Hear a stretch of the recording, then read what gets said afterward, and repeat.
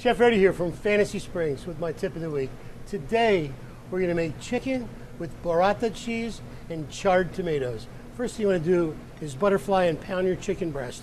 Lay that out, and then just drizzle a little bit of uh, extra virgin olive oil, a little bit of fresh chopped herbs on there, a little parsley or basil, a little salt and pepper.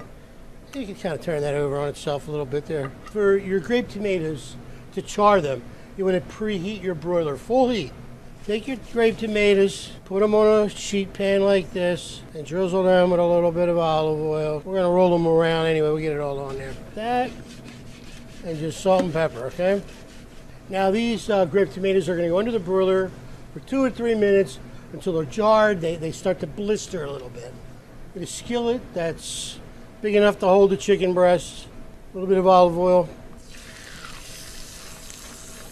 So the chicken, we pounded it pretty thin. So this is going to cook two minutes on each side. It's going to be pretty much cooked all the way through. Chicken's done cooking. Our grape tomatoes have been charred and blistered.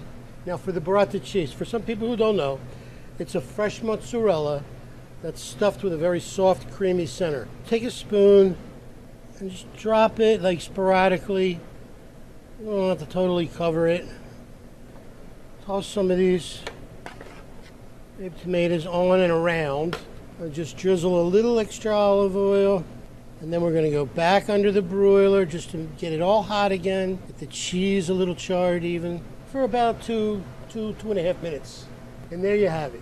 Chicken with burrata cheese and charred grape tomatoes. I'm Chef Freddy from Fantasy Springs, and I'll see you next time. Forget about it.